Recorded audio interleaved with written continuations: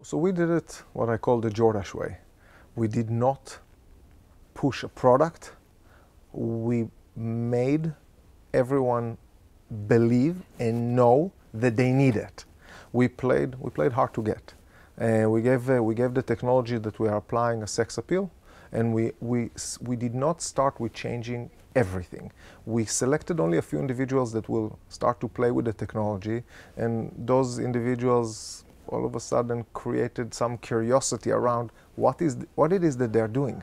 What are they doing different? They get to spend more time in, in, in meetings with with me and with the with the with the software company. They get to to ex, they get new computers, they get new tools, and they are showing results that are exciting.